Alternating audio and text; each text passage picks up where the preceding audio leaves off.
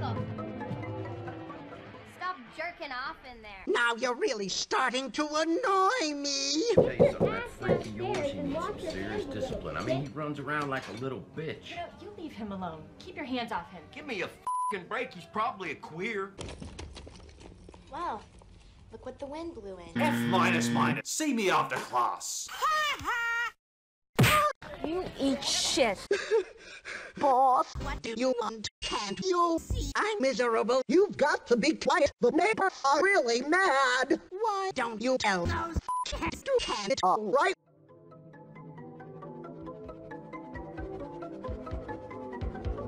You may have outsmarted me this time, Ophelia, but I'll be back. I have a feeling we'll be meeting again very soon.